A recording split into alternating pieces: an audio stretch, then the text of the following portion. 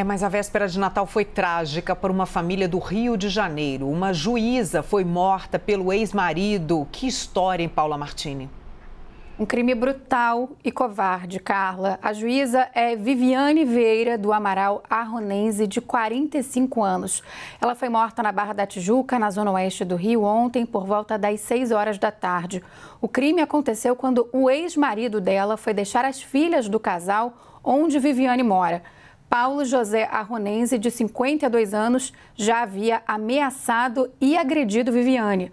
Por isso, ela tinha escolta 24 horas por dia, feita por dois carros e seis seguranças armados. Só que a juíza já havia dispensado a escolta, atendendo ao pedido de uma das três filhas.